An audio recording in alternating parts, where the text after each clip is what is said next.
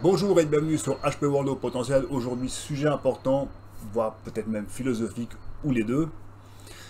Le thème est la vie que l'on choisit ou pas. Donc la vie que l'on choisit, c'est-à-dire notre propre envie à nous euh, au niveau futur. Et puis le ou pas, c'est quand c'est quelqu'un d'autre qui décide de votre avenir. Donc, souvent, c'est nos parents. Alors voilà, un jour, nous naissons, bien évidemment, processus normal, et puis nos parents, ou les parents plutôt, décident qu'on sera médecin, qu'on sera sportif, qu'on sera comptable, qu'on sera euh, forestier, qu'on sera agriculteur de manière générale, on va dire plutôt euh, paysagiste pour reprendre aussi l'entreprise, etc., etc. Et puis, de ce processus-là, arrivent aussi des drames. Parce que bah, quand c'est les parents qui font ça, ils vous poussent, ils vous poussent, et puis vous, bah, vous avez pas forcément, vous aimez pas forcément le domaine dans lequel vos parents évoluent, mais eux ils s'en fichent. Vous devez reprendre leur, la, la, l'entreprise familiale, et puis quand vous êtes l'ancien sportif, eh ben, ils voudraient que vous fassiez comme eux, voire mieux. Donc, bah, il vous pousse, il vous pousse, puis euh, bah, vous n'aimez pas ça, mais vous y allez quand même. Beaucoup, beaucoup de tennis euh, woman et, man euh, n'aimaient pas le tennis à la base, hein, mais ils sont quand même devenus de très grands champions. Donc, comme quoi, en mettant certains, certains aspects de côté, on y arrive, mais voilà, ils en ont souffert, et puis au jour d'aujourd'hui, bah, ils le regrettent, certains ont même tout perdu parce que leurs parents ont tout pris leur, on, absorbe tout leur fric. Et puis, bah, bah non, c'est des gens qui, ont plus, perdu la totalité de leur, quasiment de leur gain de toute leur vie euh, sportive. Et puis, maintenant, du côté enfant, donc, quand c'est nous qui choisissons, pour le peu que ce soit les mêmes choix, donc de reprendre l'entreprise de, de devenir sportif, etc. L'avantage, c'est que si c'est nous qui voulons le faire, on le fera mieux. Parce qu'on aura eu l'envie. Et puis, quand je vous parle d'envie, c'est une vraie envie. C'est pas juste dire, tiens, bah, tiens, aujourd'hui, je vais aller machine glace, etc. Puis, et puis, pour finir, ah bah non, pour finir, j'ai pas envie, etc. Donc, vous n'avez pas à chercher. Ça n'a rien à voir. Là, c'est vraiment un truc, voilà, je vais venir ça. Je me, je me, j'arrive à me projeter dans l'entreprise familiale, j'arrive à me projeter en tant que sportif, j'arrive à me projeter en tant que comptable ou tout ce que vous voulez autre comme métier. Donc c'est au trip, et puis vous y allez, puis euh, habituellement vous, on, peut briller euh, dans ce métier-là. Après on peut évidemment se tromper, puis bifurquer, puis aller ailleurs, et puis euh, trouver un métier qui, soit quasiment équivalent, mais dans un contexte plus apaisé ou moins stressant. Donc voilà, ça c'est deux aspects assez importants, sachant que le, premier, quand c'est les parents qui vous poussent, il y a quand même euh, des cassures et il peut y avoir des problèmes assez graves. Et c'est là on arrive au, deuxième point qui est la réalité de la chose, la réalité du terrain, qui n'est pas forcément euh, toute rose, ou qui peut être rose aussi, mais voilà, dans ce que c'est de 50-50, je ne pense pas malheureusement, mais enfin, allons-y. Donc vous avez le côté succès tout se passe bien, etc. Euh, que ce soit pour soi-même ou quand c'est les parents qui vous ont poussé. Succès, c'est parfait, tout va bien, vous finissez votre carrière, voilà. Vous êtes heureux, vous avez accompli ce que vous vouliez, ce que les parents vous voulaient de vous. Donc tout le monde est content, vous comme eux. Voilà. Et puis, il y a le côté euh, échec aussi. Donc tous ces gamins, tous ces enfants euh,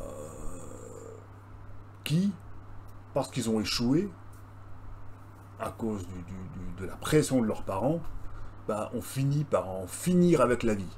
Parce que ça, il y en a aussi, on en parle relativement peu, voire pas du tout, parce que bah, c'est peut-être pas forcément des, gamins qui sont arrivés à un niveau tel on peut en parler. Ça s'arrête peut-être au, niveau du club de tennis du quartier, etc. Donc on n'en parle pas. Mais beaucoup, à partir d'un certain âge, bah, finissent par en finir parce qu'ils n'en peuvent plus. Les parents sont tout le temps derrière. Euh, ils leur expliquent ce qu'il faut manger, quand il faut aller dormir, etc. Alors que les, à partir d'un certain âge, ils sont suffisamment grands pour, choisir eux-mêmes ce qu'ils veulent faire. Mais non, les parents toujours là, tu feras ci, tu feras ça, puis finir, paf.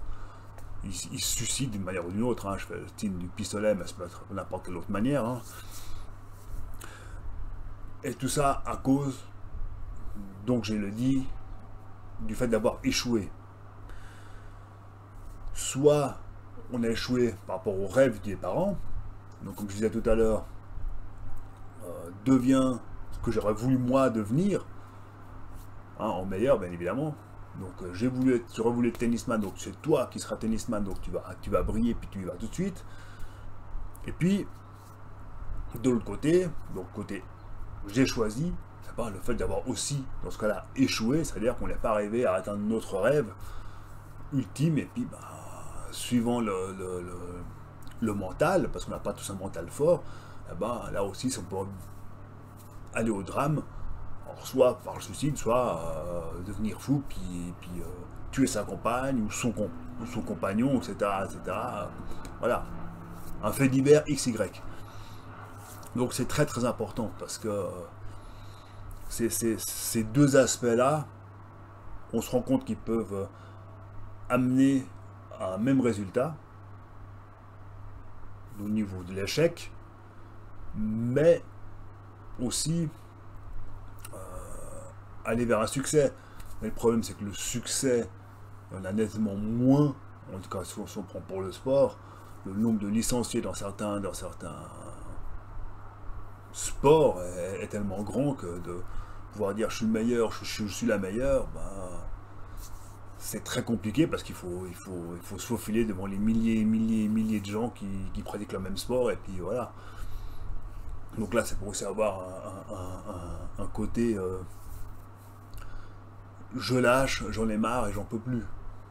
Mais voilà, après certains arrivent à lâcher beaucoup plus tard, puis d'autres beaucoup plus vite ceux qui lâchent beaucoup plus tard ont, quand même un, psyché qui est fort, parce qu'ils ont quand même tenu un X nombre d'années, et puis bah, jusqu'au moment où ils n'en peuvent plus, et puis plutôt que de craquer, bah, ils disent stop, ça suffit, j'arrête, j'ai encore envie de vivre. Après, on arrive vers le travail, parce que là c'est un peu le côté réalité, etc. pour et contre de, chaque débat. Maintenant, on va arriver vers le travail. Et là, on va parler travail, travail. Donc, plus il n'y aura plus de côté sportif. Alors, le travail, dans ce qu'on, qu'on a choisi ou non, il y a la relation avec les autres. Euh, j'en ai parlé dans d'autres vidéos, mais la relation avec les collègues est très importante. Sachant que, bah, à l'heure qu'il est, on ne peut plus faire confiance à personne. Déjà à l'époque, c'est déjà pas facile de pouvoir faire confiance aux gens qui nous entourent, donc aux collègues.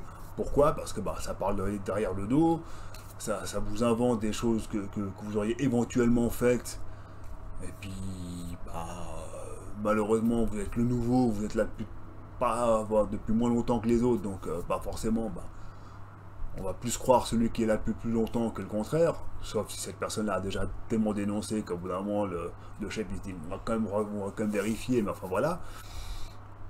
Et puis, euh, ce côté-là aussi peut vous amener aussi à, des drames, donc le suicide, le pétage de plomb, euh, les burn-out, parce que c'est des gens qui, n'ont qu'une envie, c'est que vous ne, les menaciez pas de prendre leur éventuelle place qu'ils auraient éventuellement envie d'avoir dans l'entreprise. Comme j'ai toujours dit, c'est un employé, il sera jamais plus haut, que plus haut que ça, puisque le chef est toujours là. Visiblement, il, y a des chances qu'il ne parte pas. Et puis même s'il part, euh, il n'y aura peut-être même pas de, candidature interne, ce sera que externe, parce que bah, le, RH aura regardé les différents dossiers, puis il verra que bah, aucun d'eux n'a les capacités d'être chef, et puis, c'est tout. Voilà. Donc, en fait, ça crée des tensions, Parce que ben, euh, la, collègue ou le collègue va faire rentrer un copain ou une copine, ou leur frère, etc., dans l'entreprise, donc ils vont faire en sorte de, faire du dégagisme, et puis bah, proposer le dossier. Le problème, c'est qu'ils ne savent pas si leur, le, dossier, leur copain, copine, frère, soeur, euh, sera suffisamment bon pour que pour que soient euh, embauchés. Puis ça marche pas, bah, ça risque de créer aussi des problèmes pour eux parce que ben voilà euh, le, frère ou la soeur va, dire t'as pas fait assez pour me faire embaucher c'est n'importe quoi etc et donc tout ça en fait parce que je suis en train de regarder aussi ce que j'ai noté euh, il faut au maximum rester naturel. Parce qu'on se crée un personnage pour plaire aux collègues. Et puis c'est pas du tout la bonne stratégie parce que euh, certes, de rester soi-même, ça peut nous isoler, mais on peut aussi se protéger de ça, à ça. C'est-à-dire que voilà, on appartient à notre propre groupe à nous-mêmes, puis les autres, bah, s'ils arrivent, il faut qu'ils montent pas de blanche, d'une certaine manière, pour pouvoir discuter avec vous. Pourquoi? Parce qu'on peut faire confiance à personne, je viens de le dire, surtout dans le monde du travail, parce qu'il y a souvent le travail que vous faites, euh, la queue pour vous remplacer, elle est gigantesque. Vous dites, vous, le jour où vous partez, vous serez remplacé, on ne se souviendra même plus de votre prénom. Donc, euh, certains se souviendront même plus que vous avez été là un jour, parce que derrière, bah, ça pousse. Donc, euh, suivant, suivant, je vous dis, suivant l'emploi, bah, nous vous restez comme on est, et puis comme ça, il bah, n'y a pas de faux self, il n'y a pas de, faux semblant. Euh, si un vous ennuie, vous lui le dites. Et puis, bah, il le prendra mal, elle le prendra mal, mais c'est pas grave, au bout d'un moment, euh, vous avez votre intégrité euh, physique et mentale, et vous n'allez pas vous faire embêter par des, gens qui n'ont qu'une envie, c'est que vous pétiez un plomb pour que vous puissiez être remplacé par leur copain, quoi. Et puis, comme j'en ai parlé dans un commentaire, il y a l'entretien d'embauche. Parce qu'on m'a dit, ouais, il faut que tu fasses à quand une, vidéo sur l'emploi, puis j'ai dit, mais j'en ferai pas parce que ça sert à rien. Euh, pourquoi ça sert à rien? Parce que chacun sait comment trouver du travail. Il n'y a pas de solution miracle, il n'y en aura jamais, ça n'existera pas. On aura beau vous dire, il faut faire ton CV comme ça, il faut écrire ci, il faut écrire ça, etc. Moi, je suis inscrit sur certains, sites, justement, qui vous proposent des, astuces euh, pour faire vos CV. J'ai utilisé, ça n'a absolument pas fonctionné du tout. Pourtant, j'ai suivi scrupuleusement ce qu'ils qui, ce qui disaient. Alors, leur pseudo-expert à la noix, là, ça ne fonctionne pas. je veux bien éventuellement penser que j'ai mal écrit un truc ou autre, mais je pense pas.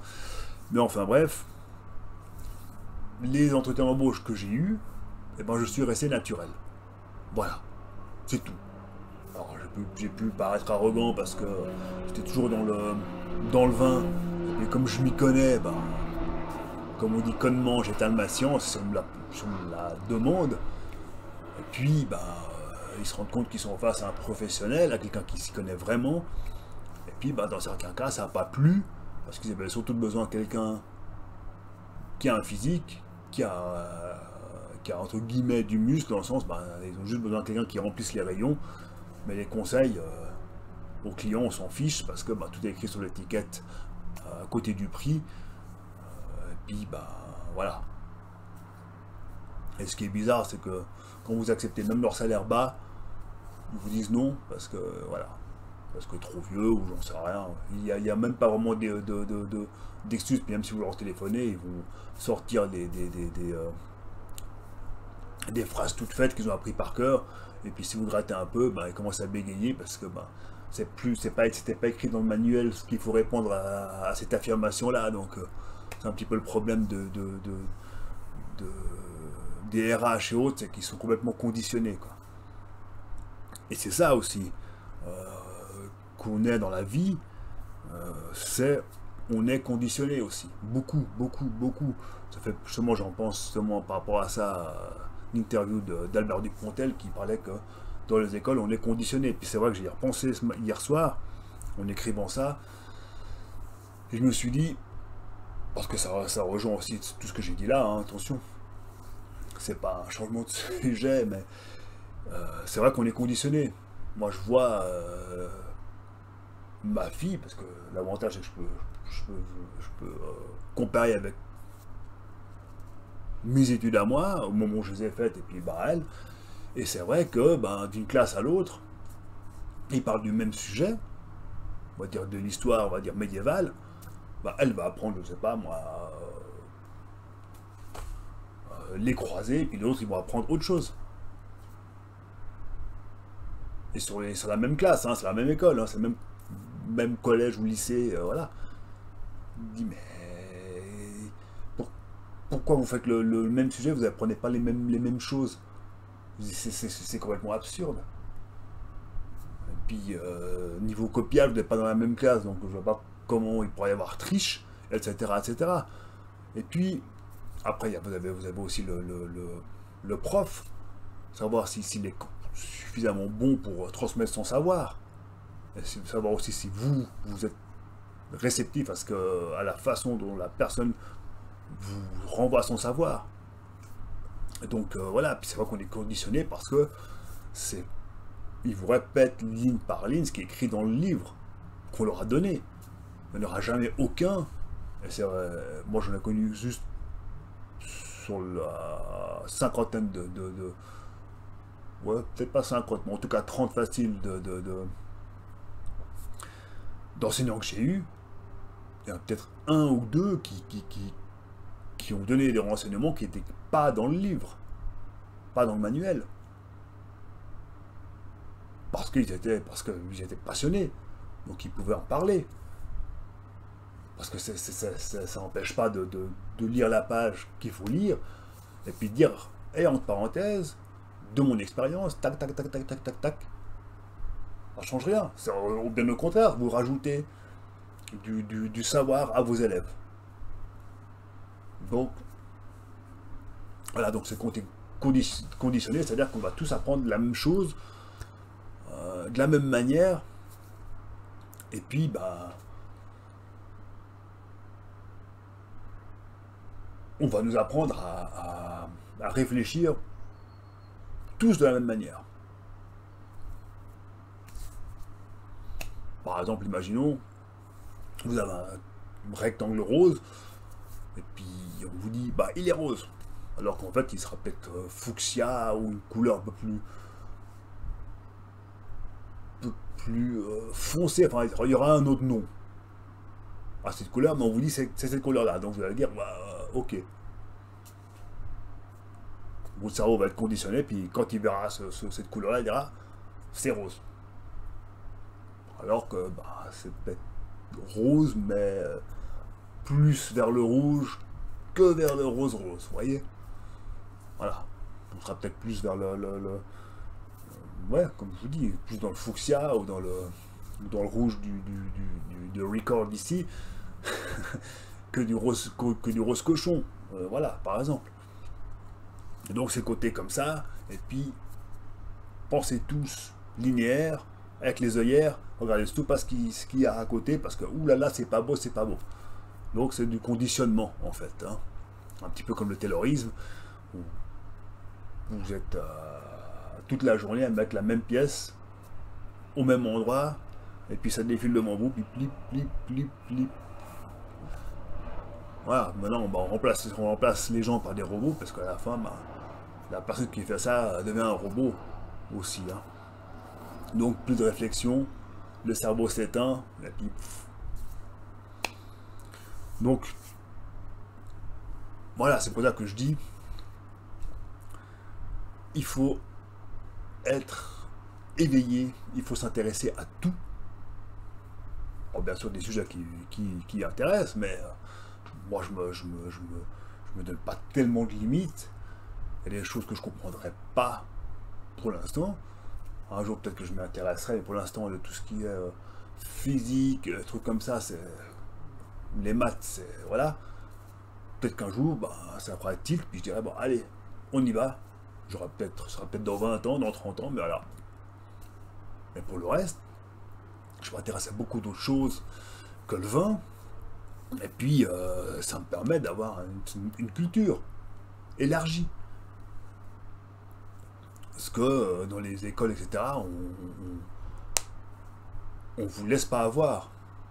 On vous dit, pensez comme ça, parce que c'est une pensée qui est juste, parce que c'est celle qu'on veut que vous ayez. Regardez aux États-Unis, ils apprennent le darwinisme, ils apprennent aussi l'autre, le, révisionnisme, qui est euh, Adam et Ève, etc. Alors que l'autre, c'est plutôt les singes qui ont, on a, on a évolué, c'est notre évolution, puis l'autre, bah, c'est Adam et Ève, euh, les, deux, les deux, euh, s'appelle ça, consanguins, et puis voilà.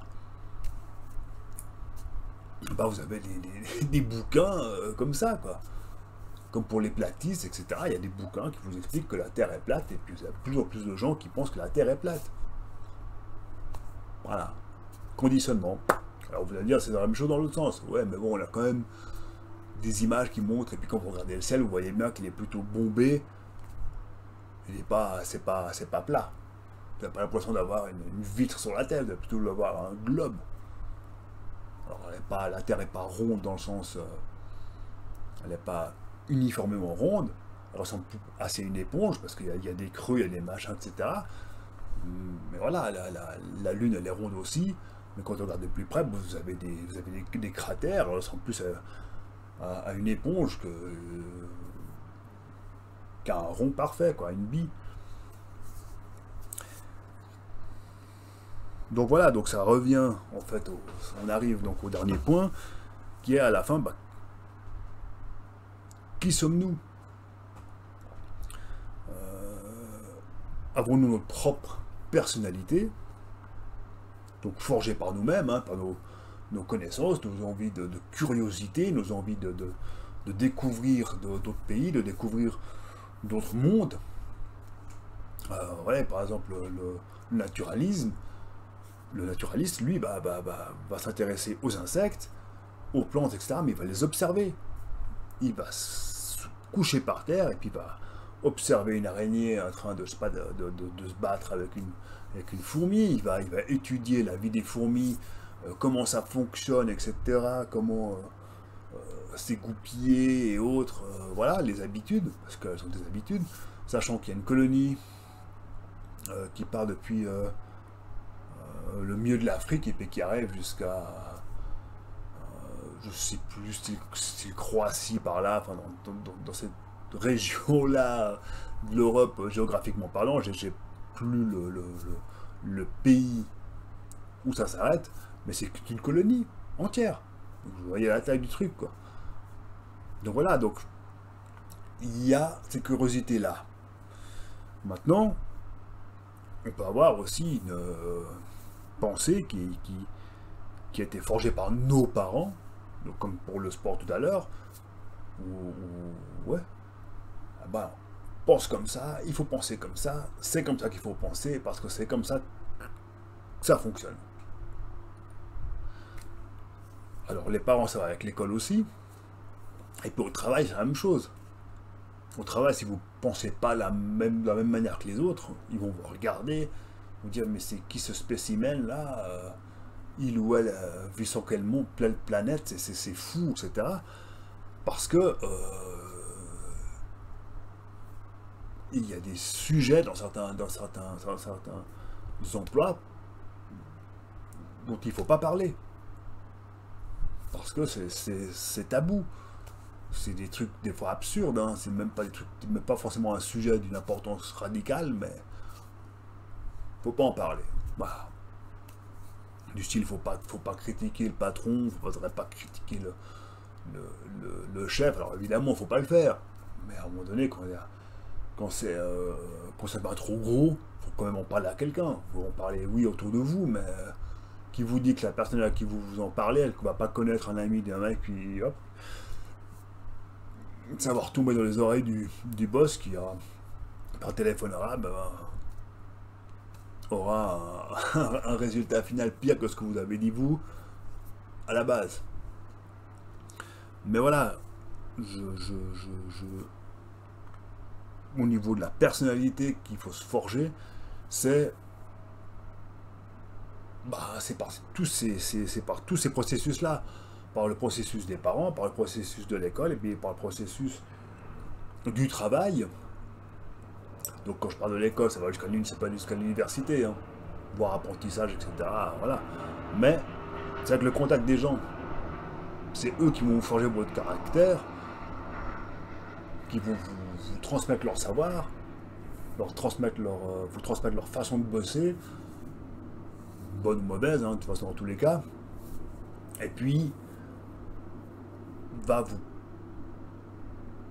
ouvrir, si vous voulez, votre regard euh, en 360 et plus juste euh, droit devant vous. Il est important de rester soi-même, pour éviter de, de, se perdre, de devenir quelqu'un qu'on n'est pas, d'avoir une attitude qui ne nous correspond pas. Et, ces attitudes-là viennent souvent des gens qui nous entourent.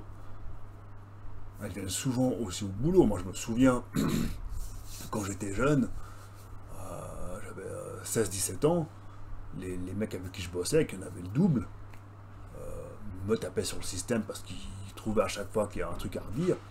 Le nombre de fois que j'ai failli leur enfin j'ai pas failli, j'étais à droit de revenir aux mains, ou de prendre même, même un outil pour leur enfoncer sur la tronche, parce que c'est des mecs qui vous poussent à bout, qui vous poussent à bout.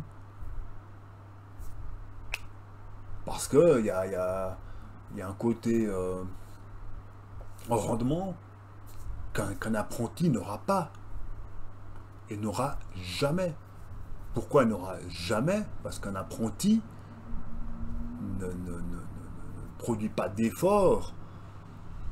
C'est pas prévu qu'il fasse des efforts pour faire gagner de l'argent à l'entreprise. Il est là pour apprendre. Il n'est pas là pour créer un, un comment s'appelle ça? Une richesse à l'entreprise. Jamais. Jamais. Alors bien sûr, vous en avez qui, qui, vont die-die, qui font machin, mais est-ce que le résultat est bon, c'est même pas sûr. Mais on n'est pas là pour créer un. On n'est pas là pour créer euh, des, Un apprenti n'est pas là pour créer de la richesse. Quand j'ai travaillé chez un. La, personne qui m'a fait passer mon, diplôme en viticulture dans le canton de Vaud, là, bah, géographiquement c'est derrière moi, eh bien, euh, sa femme m'avait dit J'en avais parlé à ma soeur d'ailleurs, puis j'ai répondu ce que ma soeur euh, m'avait dit de lui répondre. D'ailleurs, ça l'a calmé tout de suite, m'avait dit eh, Vous n'allez pas assez vite. Je dis Mais écoutez, je ne suis pas un employé agricole. Je ne vais pas aller aussi vite qu'un employé agricole. Un employé agricole, ou un employé tout court, ira beaucoup plus vite qu'un euh, qu'un apprenti, parce qu'ils font ça toute l'année. Ils font ça toute l'année. Ils font ça chez eux, ils font ça en Suisse, et puis après la Suisse, ils vont encore ailleurs pour aller dans une autre exploitation pour faire le même boulot ou un autre, mais ils y vont parce qu'ils euh, ont besoin d'argent. C'est pas du tout la même chose. Puis eux doivent faire un rendement, eux doivent aller vite. Eux ont un temps, ont X pour finir une ligne de, de ou un, ou un carré entier. Un apprenti n'a pas ça. Il n'a pas vocation à créer une richesse. Loin de là, il l'a pour apprendre. Et puis quand il aura fini d'apprendre, quand il aura le, diplôme, alors à ce moment-là, oui, il pourra, il devra créer une richesse à l'entreprise. Entre-temps, voilà, et puis encore, une fois qu'on a, a CFC, on peut devenir le patron. On devient automatiquement chef des employés qui étaient chefs, qui étaient nos chefs avant. Parce que nous, nous, les gens, l'apprenti qui a reçu son diplôme, bah, passe directement reçu parce que ces gens-là, eux, n'ont pas de diplôme. Ils sont souvent euh, pas loin d'être payés au noir, mais sont souvent payés à la main aussi. Voilà. Bon, maintenant, ça se fait plus parce que c'est hyper contrôlé, en tout cas en Suisse, c'est hyper contrôlé. Donc, on peut difficilement s'amuser à ça. Hein. D'ailleurs, cet été, euh, l'été passé, bah, il y a certaines entreprises de la construction à Genève et en Suisse qui se sont fait laminer parce qu'ils faisaient du travail au noir. Donc acheter des gens au noir. Voilà. Donc c'est pour ça, pour rester clean. Ad minima. Donc voilà, ces trois éléments par an, école, travail. Souvent, c'est vous forger votre personnalité, mais vous pouvez aussi vous la forger vous-même en ayant votre propre esprit critique. Ça n'a rien à voir avec la zététique. Loin de là, mais c'est de se dire, est-ce que ce que j'apprends est juste? Est-ce qu'il n'y a pas un livre qui va prendre ça d'une manière, avec un autre point de vue, pardon, qui me permettrait d'avancer? Vous voyez, le problème, c'est que dans, dans, l'humanité, le, modernisme a fait que on, se lève, on va au travail, on va se coucher, on se lève, on va au travail, on va se coucher, puis on vit quand? C'est quand qu'on vit? C'est quand que, que, nous vivons? C'est à quel moment? Le week-end? Mais suivant votre boulot, si vous faites agent de sécurité, le week-end, vous ne l'avez pas. Vous avez euh, deux week-ends par mois. Et puis, quand vous avez congé, quand vous faites de la sécurité, je vous garantis que vous dormez. Surtout si vous faites des jours et les nuits. Ben, il y a, d'autres domaines. Hein. Infirmier, c'est la même chose. Euh, aide euh, soignant dans les, dans les EMS, AK, EHPAD, c'est la même chose. Donc voilà. Mais suivant le boulot que vous faites, le, week-end, vous n'avez surtout pas envie de trop bouger parce que euh, vous êtes mort. Un mec euh, qui, travaille dans le bâtiment, c'est maintenant avec le week-end, euh, il, a, forcément traversé la moitié de la Suisse pour aller faire quelque chose. Il ira sans doute dans un parc et autre faire une grillade pour se reposer, mais ça, ça va pas, ça va, ça va s'arrêter là. Il va pas faire plus que ce qu'il faut. Hein. Donc voilà. Alors c'est pour ça que je dis, c'est quand que, nous vivons, c'est quand C'est quand qu'on peut s'intéresser à autre chose qu'à son boulot C'est quand que, que, les gens vont arrêter de parler de boulot même le week-end C'est quand que les gens vont se dire, ben ouais, euh, moi j'aimerais bien aller faire de l'alpinisme, moi j'aimerais bien aller à la, à la, mer, etc. etc. Je dis pas qu'ils en parlent pas, mais ils en parlent euh, sur les de 90% de, boulot, on en parler peut-être 10%, et puis encore. Il n'y a plus de loisirs, il n'y a plus rien. Alors je dis pas qu'il faut travailler 35 heures comme en France ou autre, loin de là. Mais il faut, euh, il faut, trouver le temps de vivre au sens propre du terme, au sens le plus pur de ce terme. Parce que c'est important. Parce que le jour où vous tombez malade ou autre, etc., bah, comme on dit, hein, on a, comme je dis, on a une vie si on la perd, c'est fini. C'est pas un jeu vidéo, euh, il n'y a pas une deuxième vie. Hein. Par contre, un boulot, si on perd, on peut en trouver un autre, éventuellement. Donc il y a des chances de. Mais si vous perdez la santé et donc euh, peut-être la vie, bah, c'est terminé. Voilà. vous allez me dire, ouais, mais ne travailles pas, etc. Mais j'ai eu, ma carrière, moi. J'ai eu ma carrière. Voilà, j'ai travaillé, j'ai eu de l'argent, machin. Bah, voilà, maintenant c'est fini, c'est comme ça. C'est la vie, c'est un, processus. C'est pas moi qui l'ai voulu le boulot, je l'ai cherché. Les, les, les, euh, réponses toujours étaient non, parce que je vis dans un endroit où, l'agisme est roi, c'est tout. Parce que je, suis dans une société où les professionnels, euh, ils en veulent pas. Ils veulent des espèces de pseudo-manœuvres qui, qui, sont juste là pour. Ils ont juste besoin, ils ont juste besoin de muscles, et puis c'est tout. Ils n'ont pas besoin de quelqu'un qui réfléchit trop. Non, non, non, surtout pas. Remplis les casiers, remplis les rayons de, légumes, euh, distribue le courrier aux, collègues, mais surtout tu, surtout tu la fermes et puis tu. Tes, tes diplômes, on s'en fiche, nous, hein. nous, tout ce qu'on veut, c'est que tu ne sois pas trop bien payé pour que l'entreprise continue à gagner de l'argent. Voilà. Alors c'est très simpliste, mais c'est très malheureusement comme ça. Donc voilà, et puis euh, malheureusement, bah, j'en suis là où j'en suis, et puis bah, la vie continue. Ça s'arrêtera pas. Voilà. Donc c'est un, une vidéo un peu particulière, mais dans les deux cas, on peut avoir du bien comme du mal, mais quand c'est les parents qui poussent à vouloir qu'on devienne quelque chose qu'ils n'ont pas réussi à être eux-mêmes, là ça devient dangereux. Là, ça devient très, très, très dangereux. Parce que burn-out, parce que éventuellement suicide, parce que, euh, parce que voilà, c'est une espèce d'emprise, de, c'est limite du gourou, parce que, ben, euh, entraîne-toi, entraîne-toi, entraîne-toi, entraîne-toi, fais ci, fais ci, fais ci, rien. Parce que c'est. Puis en plus, c'est pas quelque chose que vous avez envie de faire vous-même. Vous, avez, eu beau vous, vous, vous, vous, révolter en disant oh, je vais pas faire ça, bah, bah si quand même. Bon voilà. Soyons libres là-dedans, soyons libres de nos choix.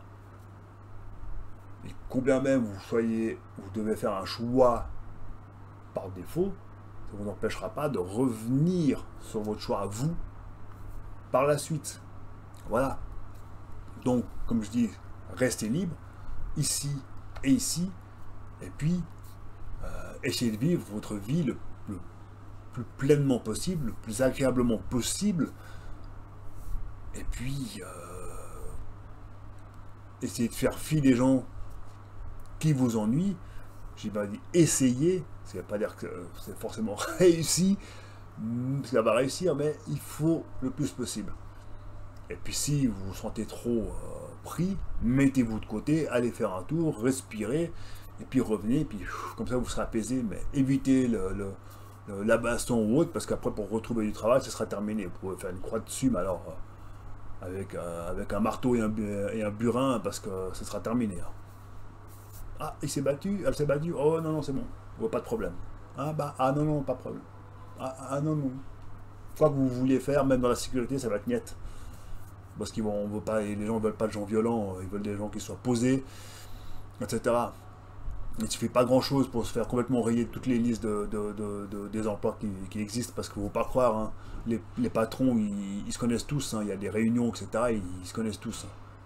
Moi j'ai vu à, Genève, quand je fais de l'horticulture il n'y a pas très longtemps, euh, il y avait des formations, etc., tous les boss étaient là, tous, tous, tous les chefs de, de, de, des voiries, des communes, etc. étaient là, et puis discutaient ensemble, hein. puis même les, dans les entreprises euh, paysagères de, Genève, etc. Donc, ils se connaissent tous. Il y a même un type du, du canton de Vaud, un malade, il était là aussi.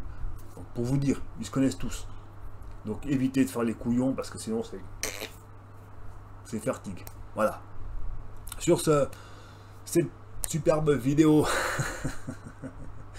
s'arrête là. Je vous laisse liker, commenter mettre la petite cloche pour savoir quand je vais ressortir une merveille. Et je vous laisse vous abonner. Sur ce, à très bientôt.